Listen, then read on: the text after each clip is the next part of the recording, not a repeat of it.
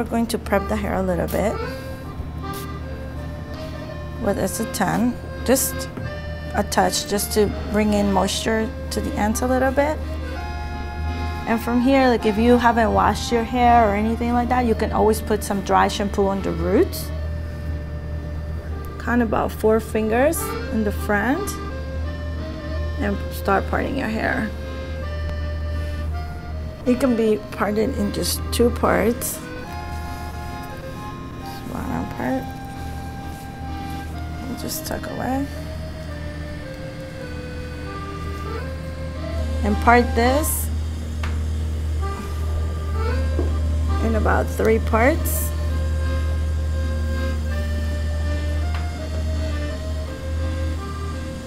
Like that. And we start teasing back here. We can use a Spornette brush. This is probably the best brush to use, Spornette.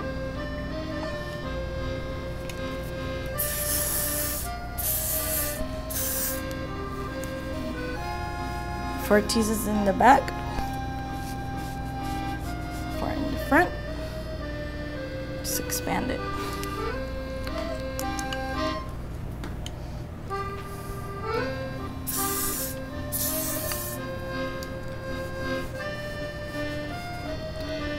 Jesus in the back, four in the front.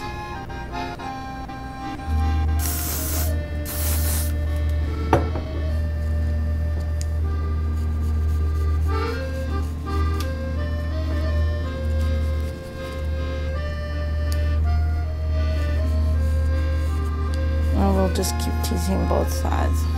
And on this front part, I'm just not gonna tease in the front. I'm just gonna tease it in the back.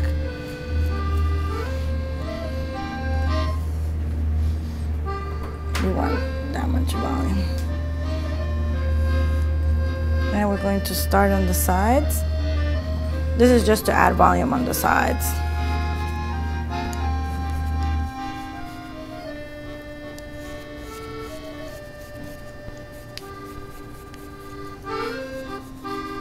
And then we'll grab the front and also tease a little.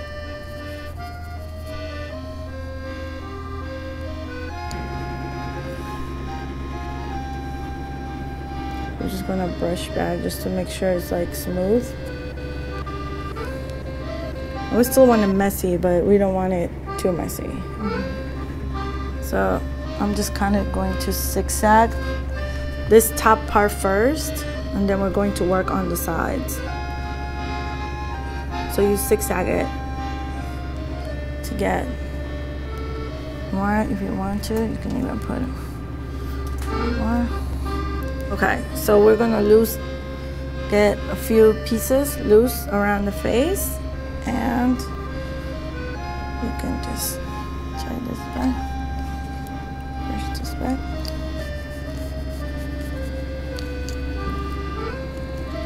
Again, we're going to leave some hair, and we're going to pull the hair from back here,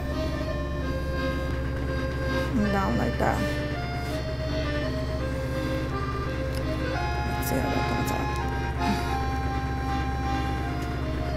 Down like that. Okay, so we're going to grab bigger chunks. So we're going to curl away from the face.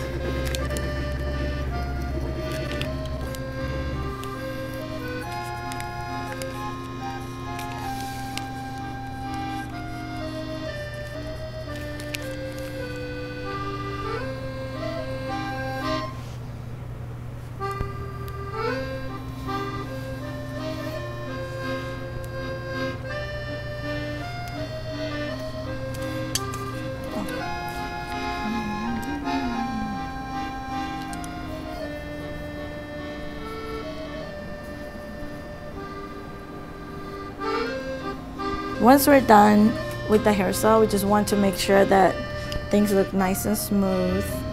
It's like still messy but smooth and you can actually add more volume on the bottom if you, even with your fingers, if you just kind of do something like this. It's a really easy way to just give volume to your hair. You can add finishing spray. Just make sure it stays longer.